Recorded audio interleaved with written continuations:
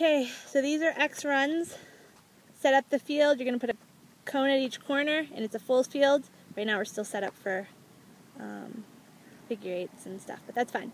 Anyways, Taylor's jogging the sidelines. Once you hit that cone, you are going to sprint diagonally across the field to the far cone over there.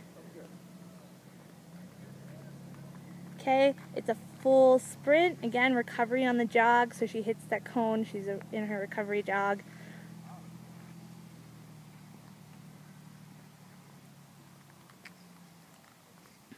And one complete X, it's called X runs because you're making an X across the field, is one set. We're doing this continually, so make sure that you're not just stopping after one set, you're continuing on with the next set. A full sprint, really open up, get that stride, work on your sprinting form, and going as fast as you can.